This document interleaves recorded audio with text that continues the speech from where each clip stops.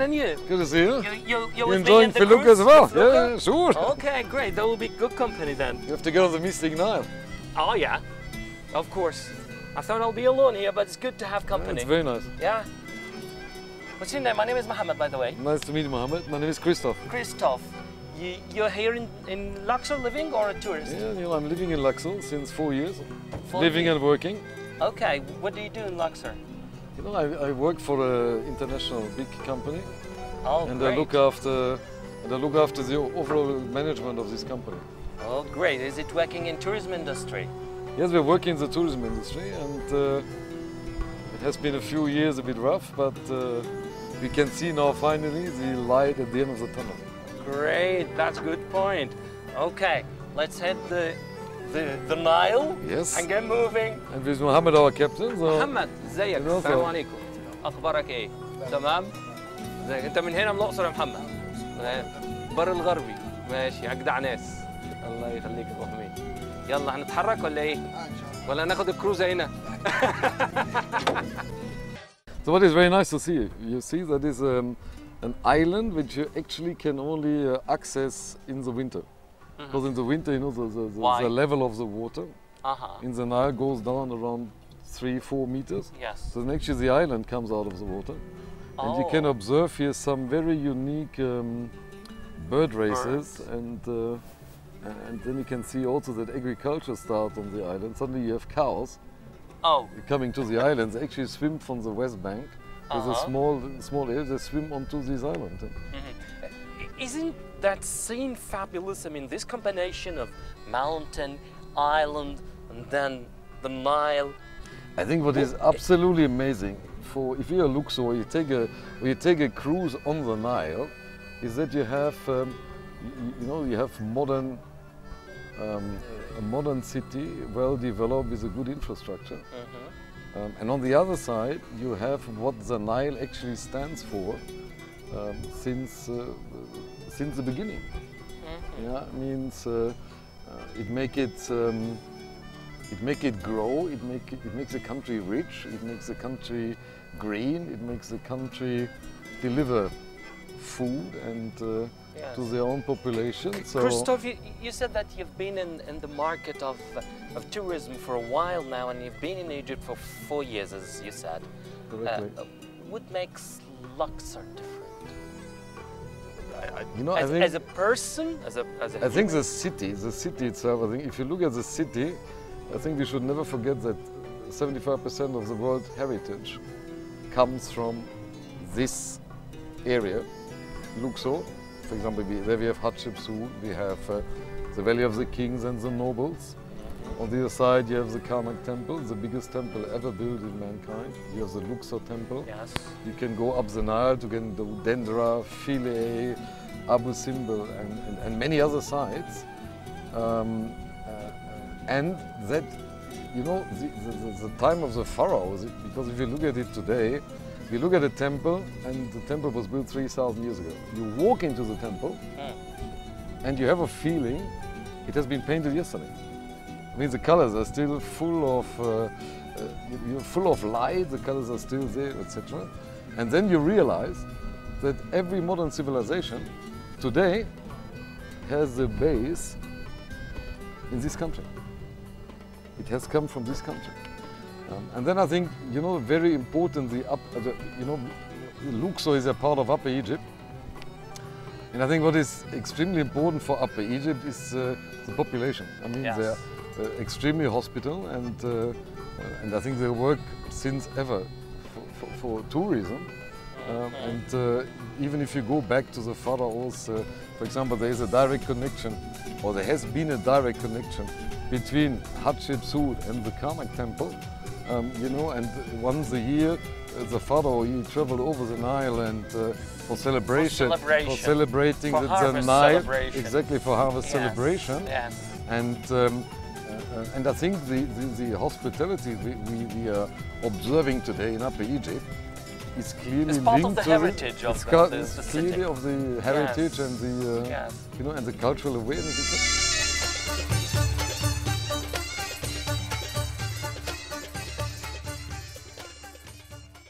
So Uh, have you have you invited any of your friends or family here, and what was the reaction? I, you know, I must say, I've, I think I brought now all my family, all my friends, and, and everybody I know.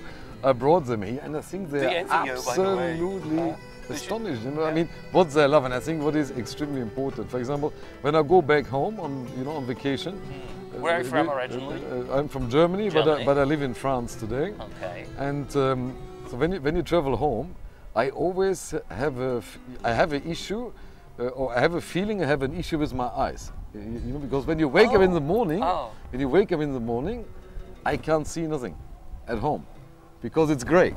You know, Oh, and, yeah. and it might Oh. be cold, and it, so, it's Yeah. very grey. So, but when you The wake scene- up here in the itself, morning, yes. but when you wake up here in Luxor in the morning, you have a light and, and you have it 365 days a year. Mm-hmm. You can see. You can see, you have a fantastic light and, and depend a little bit how the sun stands in the morning. So it depend when you wake up. You have a feeling, you know, for example, the, the, the, the mountain over there where, where you find the temple Hatshepsut, sometimes you have a feeling it's further away or it's closing up. You, you know, Ah, depend, ah. it really depends on the lighting, you know. So and, uh, Ah. and I think this is the biggest. Uh. I think this is the biggest advantage of Luxor. You know, I I've- I've heard the, that- the, the heritage, and the Nile, and that you have, uh, you know, a weather everybody invades you for. Yeah. So, so, somebody told me that sunset here is quite different from, from any sunset you'd see anywhere around the world. What can you say about that? Is it true? I, you know, I really believe, uh, you, you know, when you look at sunrise and sunset, and you look at how, you, you know, if you look now where we are, we're in the middle of the night. Yes. Here we have the east bank, Yes. where the sun goes up, uh -huh. And then we have the West Bank, Be behind. where the sun goes down. Okay. And if we go back now, that we have there the Valley of the Kings, that uh -huh. means the tombs of uh, Tutankhamun and, and all the great pharaohs and leaders mm -hmm. of this uh, great country. Yeah, it's actually uh, uh, it's actually a fantastic um, way they build it. I mean, they, they followed the cycle of the sun. I mean, the sun is extremely important for Egypt. You know, I mean, the sun you know, goes up on the on the east bank, so it's live. yes. It goes down behind the mountain. That's, That's- that's why we have most you know, of the cemeteries Exactly. on the west on- bank. On the west bank. yes. So therefore, I think if the sun, when you see the sun going down in the middle of the mountain, Uh-huh. and then you actually realize what is the meaning behind Yes. behind this mountain and, and, and, and, Uh-huh. and, and why it has been built over there. Yes, I think this sunset is إحنا- absolutely unique. in اعتقد the ان world. احنا كمان لو لفينا هنقدر نبص على الفيو آه، بتاع ال- آه، الجبل مع الجرين اريا and the Nile و you just can spend hours here Yeah, and, and you never get and you You never never get get bored. because Yes, exactly. every time you know I, I, I think I'm here now since four years. I think I've done 25 times you know the Felucca ride you know Yeah. up and down the Nile, but you never get bored because you see every day you see something else and the light is not always the same. Yes, yes. And what is the most special place you've visited here in Luxor? I'm talking temples, I'm talking uh, any place. At the end of the day, if, if you look at the, um, uh, the, the, the I think they're two very uh, amazing places and, and, and they have a very big part in the history. I think one is Karnak Temple. Yes, of course. And for many reasons. A, I think nine or ten pharaohs actually built this temple and added. Actually, And Gustav, it's, even- it's it's the most biggest uh, worshipping place on the globe. Yes, exactly. And and even um, uh, uh, uh, and even foreign emperors built Yes, part of, uh, Romans, some Romans built part of this uh, this temple. And then I believe in because this is also part of my DNA, because I believe the backbone of this entire country are women. Mm-hmm. Yeah. So then you must go and see Hatshepsut. Hatshepsut That. because it's the only female pharaoh um, ever lived. Well, uh, she is she Hatshepsut was the first female queen to rule Egypt. She was very strong. She sent expeditions to Yeah, outside she brought, Egypt. you know, and she, went- brought back, uh, yes, uh, you know, weed and and, and, and, and new um, uh, and, and new fruits, etc. I mean, She really was revolutionizing the, the, the country. Mhm. in a- Uh, in a I'll tell you part, you know, something. I was in Hatshepsut one day and I met some uh, British uh, women and they were very proud and talking about her in a Sure, you know, Yeah. because, I, because I think that's the only temple in entire Egypt who, who puts, uh, you know, the role of women in the in the past and in the modern life in the right place. How about people here? Have you been ever invited to some of the natives living here? Yeah, sure. I mean, we- food you know, and- I have, we- no, I love Egyptian food, and um, Seriously? uh, I really love Egyptian food. Ah. Why? Because I think the Egyptian food is really, it's really very refined cuisine, if it's done in the proper way. uh-huh.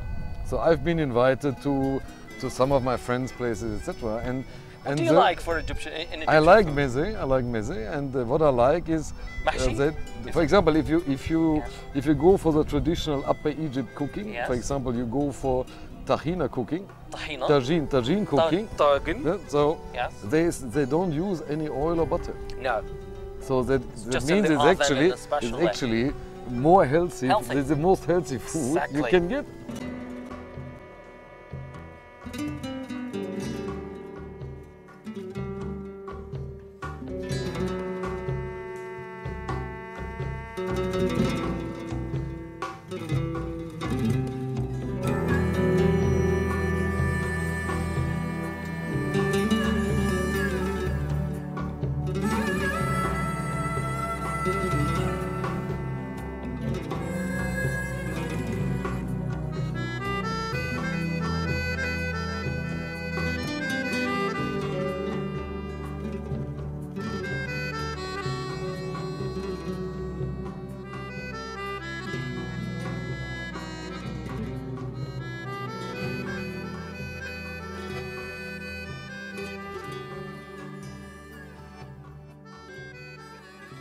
Come and join Mohammed. Yeah, sure. Come and have a look. Yeah. Look at this view. Oops, I was going to fall. Look at this view. Oh. Isn't, it looks like Titanic, but I would need more fancy one with me. We should we should start singing also. You know, we don't have the right music at the moment. You know, Oh, look so- at these birds Yeah. flying together. Oh, great. And I think this is what is you know what is so It- it- mystic about the Nile. You know, I mean. Yes. Uh, and over there, you know, you know, you can't see it now. A little bit in the fog over there. There is the bridge, which actually links the east bank to the west bank. There's a bridge over there. There's a bridge over there, you know, so they Oh. actually can you can actually go by bus, oh, car, Oh, yeah, etc. you yeah, can actually go over to Oh, the, so the we cross over this bridge So to you go, go- over so to you- the Hatshepsut temple. Exactly. So you go through the entire city of Luxor, Yeah, and then you cross the bridge. but, but it's But foggy. it- we can see it clearly now. Ah, Right? now you can see it. Now you can Yeah, see can it. we? Now you can see it. Yeah, yeah. And the, The- is there a deck there? Yeah, A you know, dock? this is you know the docking station where you have a because what I think everybody prefers is to take a boat Yeah, to cross the. Nile and take on the other side take Yes. a taxi. You know, so, Yes. so you have a you have a how do you call it in English? You have a navette, a shuttle. A ferry boat. It's a ferry, Ferry actually, you know. yes. So, so the ferry goes uh, Yes. every 10 minutes, Yeah. crosses. Um, Why, why don't you come over here in case you want to fall? so this is what you can see. This Yeah. is what you can see. You Yeah. see? So uh, this is what the people use today, you know, all Yeah. the time, you know. So. Which is nicer. I think it's always nicer to cross the Nile um, by boat instead of going by car. You know, I mean, Mhm. see, it's better for the What- what- environment. Better for the environment Yes, too. of course. So What What do your friends uh, tell you when you tell them that you're working in Luxor and you're living there for, for a long time? What do they tell they, you? they say, they say, I'm a very lucky person. uh-huh. You know why? I think first of all it's because of the sun. Ah, Because I think everybody today wants to have a, you know, a place where, where it's sunny and where you have the light to view. And then, of course, when they come and have a look at all the cultural and uh, uh, uh, heritage which is available here in Luxor in one place. And I think it's, you know, and this makes Luxor like a destination, for example, like Rome or Paris. It's a destination where you must have visited once in your lifetime. Yeah. So it's a once in a lifetime destination. So if you look at all of it here, it's um, today we call it also, you know, when you speak to, to the people in Upper Egypt, we, we call it, it's the biggest open air museum Yes. in the world. In the world, yes, exactly. So there's no other place in the world where you have more, where you have more culture and heritage in one place. have you have you tried uh, any visiting other places in around Egypt, like Red Sea, uh, Sharm You know, I mean, I've been, yeah, of course, I mean, Ah. I've been to Hurghada, I've been to Sharm el Sheikh, I've been to Marsa Alam, and Oh yeah. I've been to Cairo as well. But you know what? What I'm saying about Hurghada and Sharm, if somebody asked me today, what is your uh, preferred place? I would always say Luxor. Luxor. Cairo, there's too much traffic. Yeah. Of course, they have the pyramids, but there's too much traffic. Hmm. Uh, if you look at Hurghada, Sharm, and Marsa Alam, I think they're very nice areas because you have the Red Sea. Yes. So in Marsa Alam, if you're into so in Marsa Alam, for example, you know, I'm not a diver, but I was able to swim with dolphins, Ah, oh, which is which is something, uh, you know, uh, unbelievable. It's, it's a one in a lifetime uh, uh, experience as well. You know, so because it's the most intelligent animal in the world, and you Yeah. can swim with them. You know, and um, but on the other hand, Tell, what tell me about your feelings at that moment. unbelievable. You you jump from were the alone, boat. you no, no, I was with my family, with my daughter, my son, and my Ah, wife. ah. So we jumped into the water, Yeah. and suddenly there were 15 dolphins around us. 15 dolphins, man. And, and you look at uh, a little bit in the beginning, you say, well, that's a really big feel fish. like- that is a really big fish, so I might hope he, uh, he's not going to bite up. But they're very, you know, they are very um, Friendly. yeah, gentle. And gen- gentle, and you can is a nice word, yeah. They're really gentle animals, you know. So, and I've actually learned, uh, you know, recently I actually learned that the, the dolphin is the only animal, or the only human being in the world using more than 20% of his brain capacity. Oh.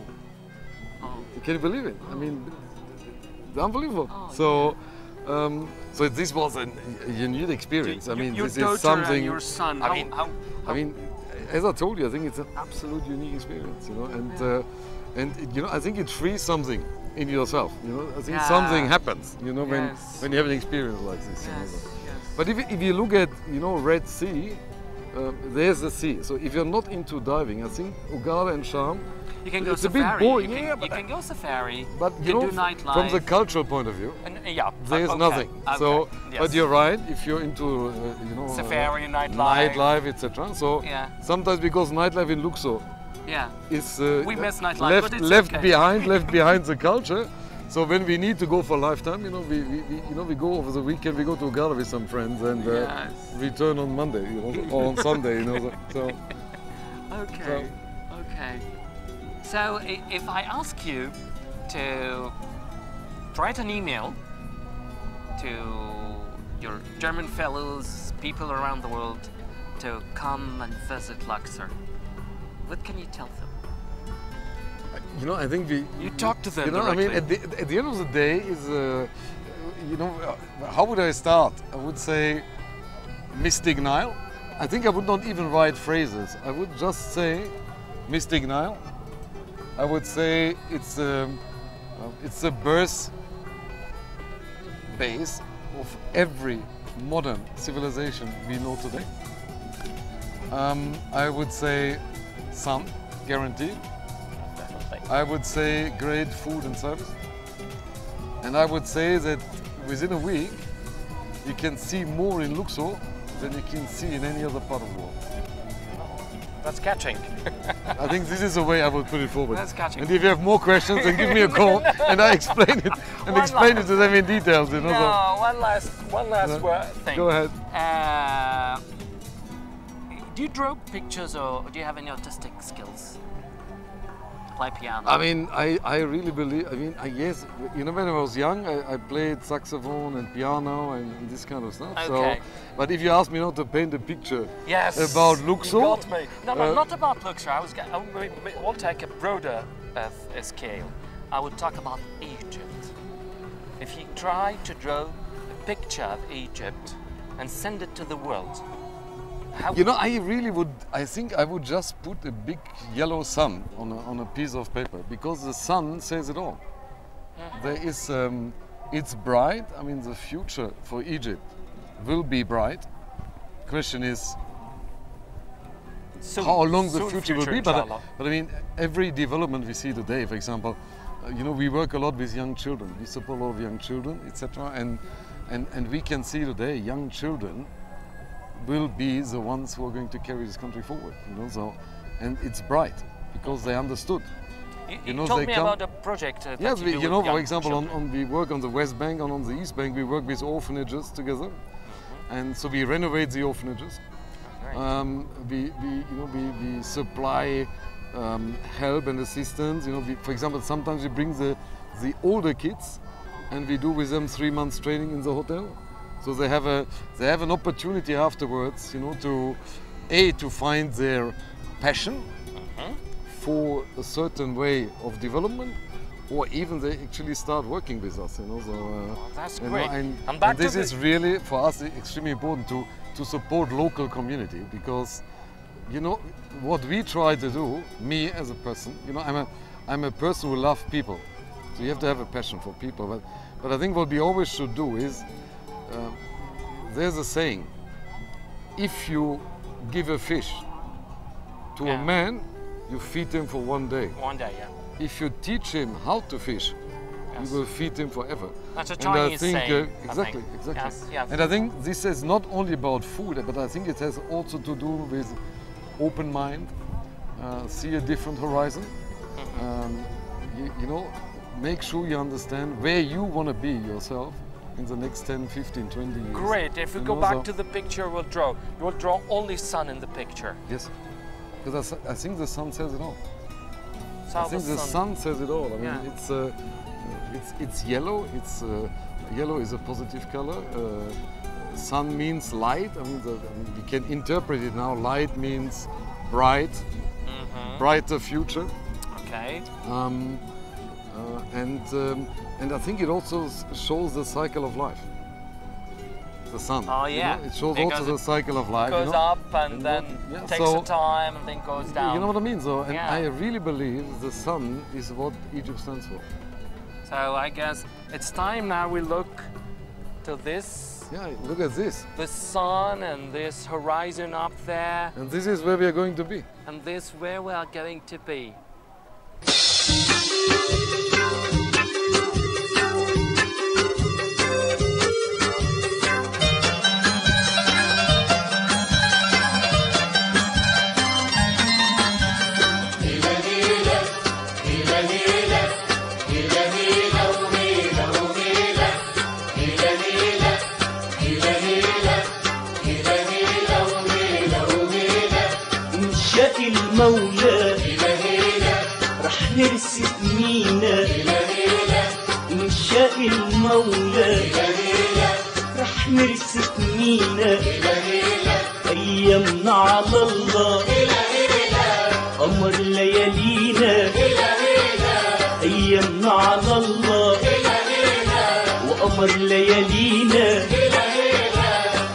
مردي شد القلوع. يا مردي مفيش رجوع. يا مردي شد القلوع. يا مردي مفيش رجوع. يا مردي ويا ليل من غير حبيب.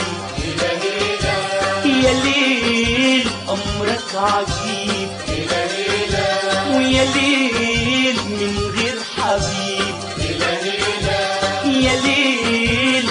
börek